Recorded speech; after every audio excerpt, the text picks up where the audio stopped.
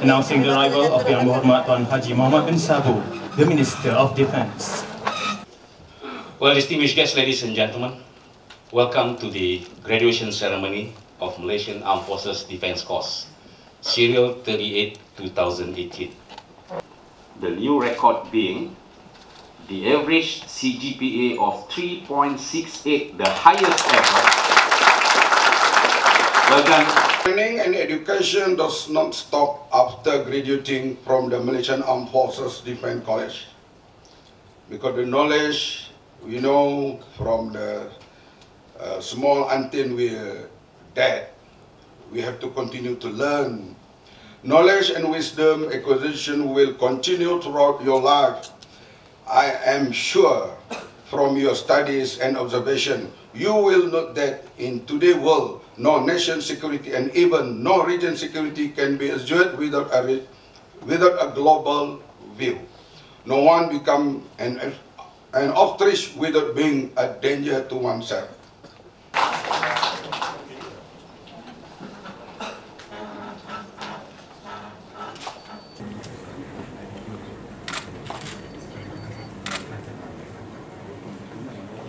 and Lieutenant Colonel Norizan binti Wahab, RMAF.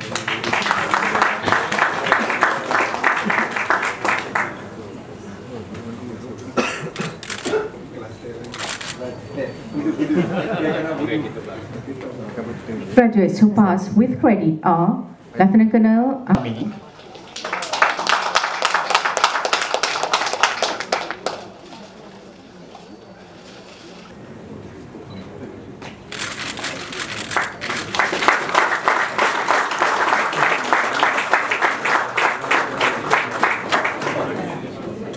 and Lieutenant Colonel Muhammad Saufi bin Omar.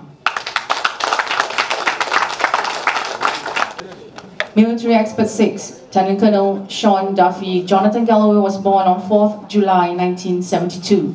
He was commissioned into the Singapore Navy on 1st July 1997. He is married to Madam Tan Pek Ling and blessed with a son and a daughter. He has achieved 4.0 CGPA and this is the highest achievement for international course participants.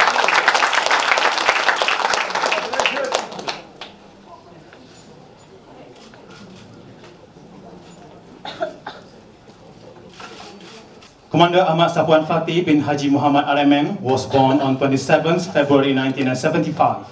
He was commissioned into the Royal Malaysian Navy on 37th June 1998. He is married to Madam Idayu binti Muhammad and blessed with two sons and a daughter. He has achieved 3.93 in CGPA.